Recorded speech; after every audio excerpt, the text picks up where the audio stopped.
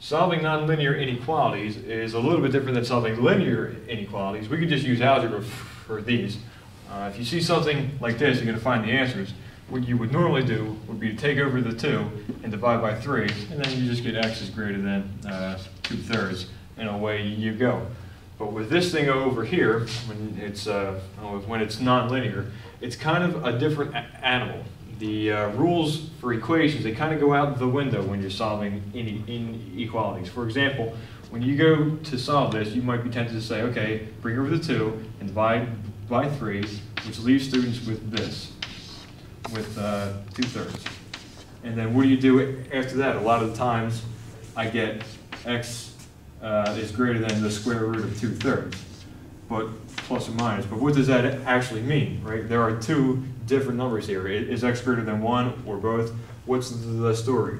The way that we have for solving these is I call the number line solution, the number line method. We're going to start it out with a with a regular uh, linear inequality, which we could solve just with regular algebra, but apply this uh, number line method to other more complicated things. What I'd like you to do is, you, you have this expression on this side. What you got to do is see, you see what values of x make that zero? And the answer is 5. If you take x 5, it's going to be 0. Now you, you have to think. If x is larger than 5, then x minus 5 is going to be a positive number. And so we're going to write down positive here, because if x is in this region, the value of the thing is going to be positive. And if x is less than 5, numbers less than 5 minus 5 are negative. So we put a negative sign. And what we have here is like a graphical description of what the solutions are. You can see that we want it greater than 0.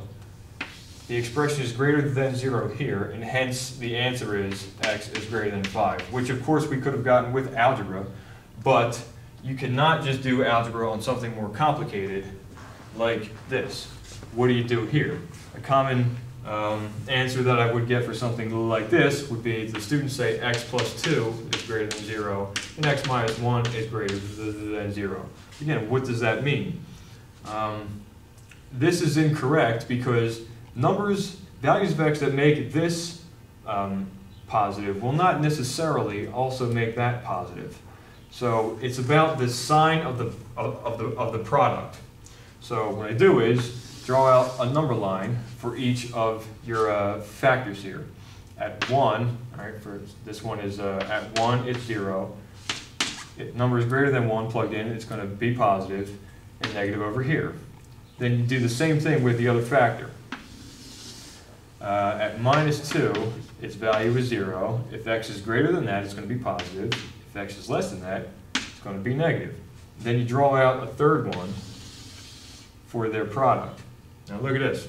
if x is greater than 1, well, first of all, you mark off where it's 0.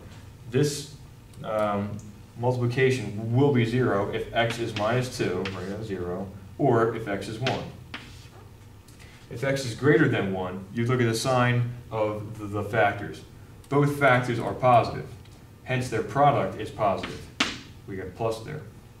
When you cross over 1, you see this factor changes sign. And so now uh, it's negative in this region. This thing, it, this one will still be positive. So you'll have negative times positive, which is negative. It's going to change the uh, sign. Then when you go past minus 2, both of the factors are negative. So their product is going to be positive again. So you just look at the chart and say, all right, well, where is this greater than 0? It's greater than 0 where x is less than minus 2 or where x is greater than 1.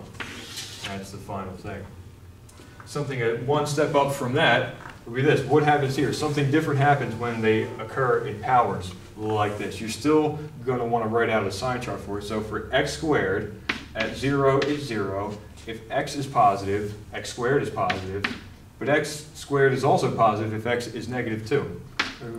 So it's positive there as well play the same game with the 3, right? At 3, x minus 3 is 0. If x is greater than 3, positive, less than 3, it's going to be negative. And now look at the effect that that has on the final product. If x is greater than 3, both factors are positive, so their product is positive. If you cross over three, this factor changes sign, making the whole thing negative. And wh- when you cross over zero, when you would normally be expecting another sign change, this factor did not get a chance to change sign because it had a square on it. Right? This thing is always going to be positive. You see, in going from this side to this side, the only factor that had a chance to change the sign of the product was the x squared, because the x minus 3 had already undergone its own, its own sign change. But because it's squared, it's going to, it's going to stay positive, and the sign chart won't change across zero, so you do not have a sign change there. It's going to be negative uh, all back here. So the solution to this would be x is less than zero, and x is between zero and three. Generally speaking, the rule is, once you have the problem factored out and you want to solve the any inequality, you look at the factors that appear an odd number of times. And the zeros that with an odd number of, uh, that have an odd power attached to them, they will incur a sign change in your chart. And the ones that appear an even number of times, you won't get a sign change. As a last example of that, how to use this quickly, we want to solve this. Mark down where it's zero, it's zero at zero, it's zero at two, and it's zero at three. You pick a number over here, greater than, than three, all the three factors are, are going to be positive, so the product is positive. Will we get a sign change across three? Yes, because it appears an odd number of times. This factor will change sign going over here, thus changing the sign of the whole thing. Will we get a sign change across two? No, because this x minus two factor doesn't change sign over here, so no sign change.